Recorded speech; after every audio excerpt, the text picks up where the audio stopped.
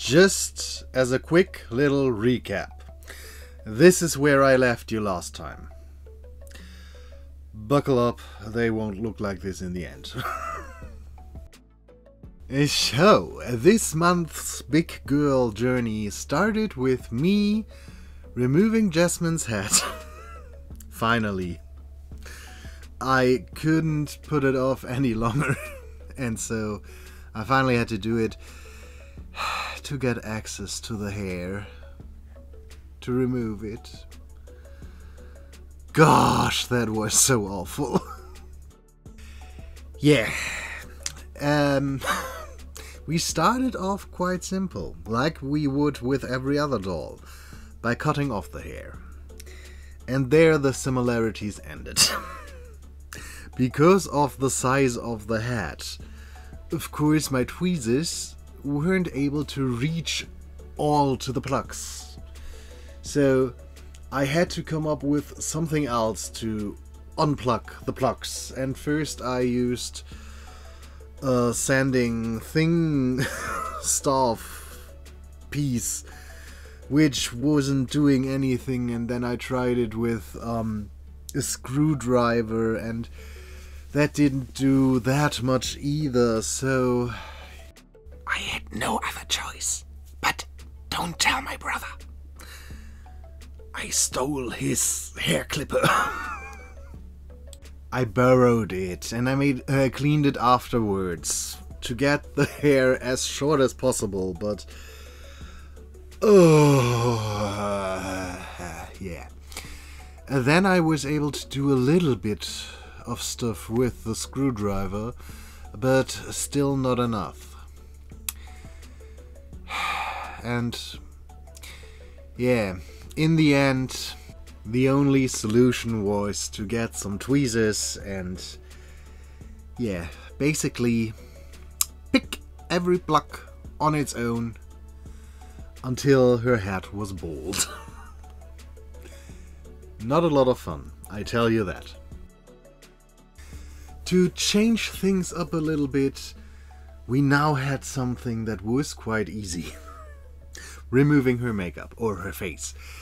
Um, there was uh, one thing I tried to avoid, and that is getting rid of the black colored skull or head. You know what I mean. Because I want to give her black hair as well, and she is more partially rooted than fully rooted.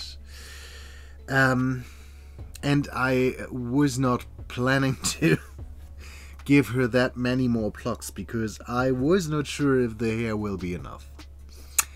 So I gave her some more in the end, but I kept the black paint just to cover up that she still is partially bald. Just putting it out there. But I have to admit it was a good thing to not root more hair into her than I already did. Speaking of the reroot part, I broke, I think, nine or ten needles. I had to go out and buy new ones because the ones I had were breaking like crazy and I already ran through a lot of them. But I bought sturdier ones and they kept breaking as well. And yeah, I used nearly all of the um uh, of the hair that I bought. It it was a mess. I had hair everywhere. I was rooting for I think two days or three. I'm not sure anymore. I did nothing else for two or three days then plugging hair into that freaking hat.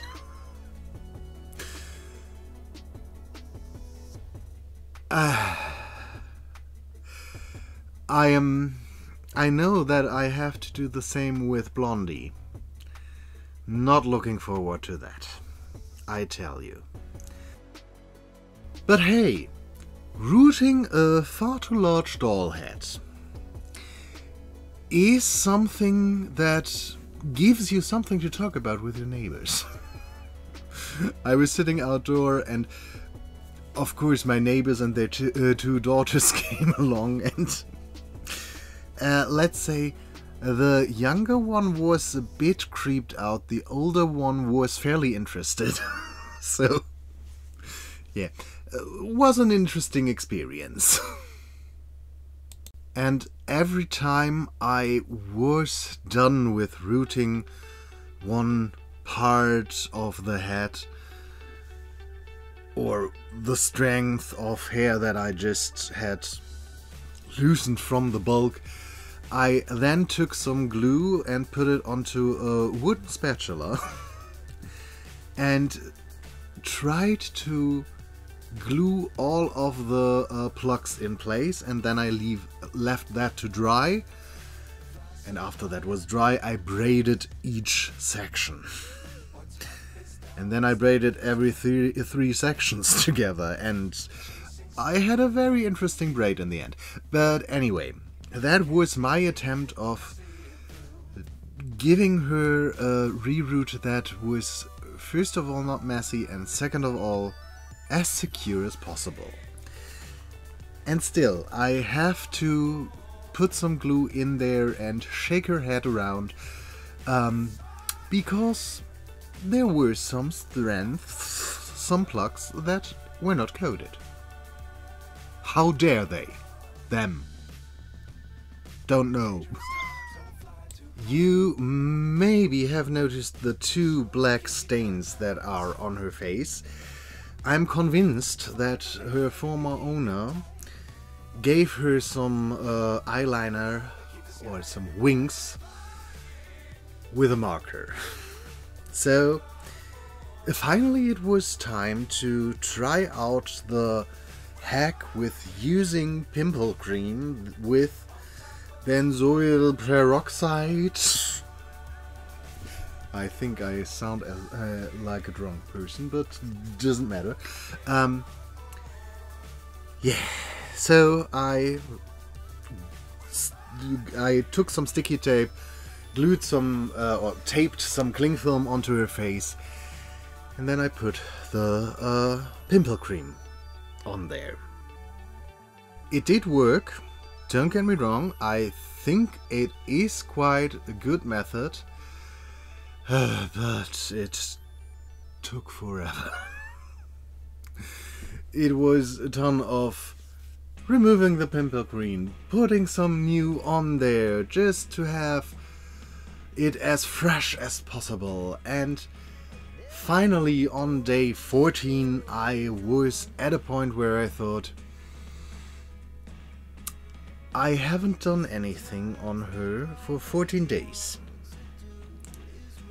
We need to do something again.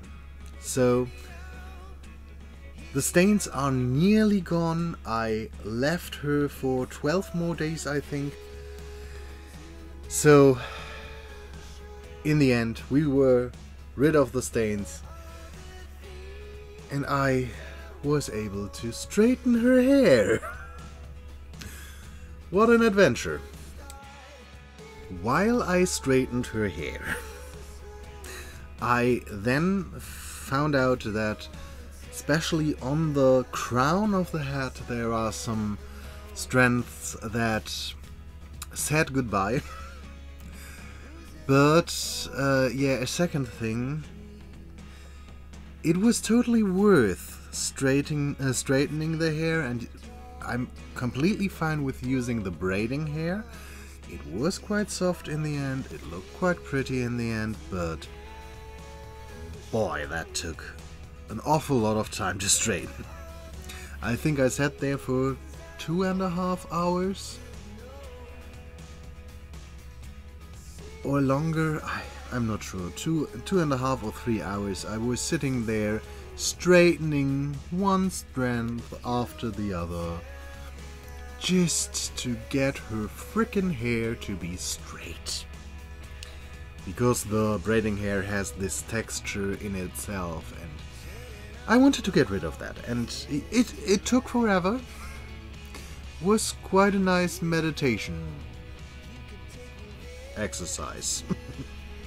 I have to admit, the more hair I was or I had straightened, the more I was convinced that I did the right thing in a lot of things. First of all, using the braiding hair because when it's still in its slightly uh, scriggly shape that it has for braiding, um, it looks not so nice. As soon as it was straightened, it was maybe not as soft as nylon doll hair, but still soft enough and had a nice sheen and gloss to it and I'm quite happy that I did not went all out and bought doll hair for this. um, and I'm fine with just having two packages because otherwise I think her hair would have gotten far too much, far too full. Because when I braid this, it's already quite the heavy and thick braid. So everything is fine. And because I was staring at her face for all that time, every time I put the pimple cream on, and while doing stuff with her, I decided I need to close her lips. I never liked, or I don't really like the toothy, smiling dolls. And yeah, I didn't like it with her either, and so I gave her a little lip injection. closed her mouth, by the way. And after that was dried, I of course used epoxy clay. Yeah, after that I had to mix up the right color to have it blend into her face because while it still was this grayish whitish color, it looked completely awful. And I thought, even if I give her some other lip color, in the end, I want it to look nice while she is just sitting there. So I mixed up a color that was as similar as possible to her skin tone and just painted her lips to the uh, so they would match. On day 26 of my pimple cream adventures, she was finally done. the stains were removed and I was able to remove all of the um yeah rest thing goo glue that was on her face with some acetone again and then she was completely clean, and I thought, okay, her head is prepared. Now let's go over to the bodies. and I had to clean them. And if you had told me that one day I would sit in my bathroom with a camera on my bathtub, one of my studio lights behind me, putting two children sized dolls into the bathtub to clean them. yeah. Never thought that that was something I would, first of all, record, and second of all, put on the internet for everyone to see. Strange thing. But. I scrubbed both of them with a, a dish scrubber, dish brush. You know what I mean. I hope you know what I mean. And uh, then I dried them and had to put them upside down because they were completely filled with water at that point and uh, the head of Blondie came loose while I was washing her. her. So um, yeah, what can I say? I had two heads in my living room and the two bodies were laying in my bathtub. When my brother came home, I told him not to be shocked that there are two naked girls in the bathtub. Things you can say when you are a doll customizer. As Blondie already had decided to lose her head in the bathtub, I decided, then let's remove your hair and your face. And so I started cutting away her lovely locks, dreadlocks, whatever. And um, there were two things I noticed. First of all, when chopping away her hair, damn it, that girl is rooted. there is not a lot of space left where she does not have her hair, which was very surprising for me. And I looked at their necks and the uh, Jasmine doll was made by Simba Toys, which are the same that make the uh, Steffi Love dolls. I think you know them quite frequently, even in America and somewhere else in the world.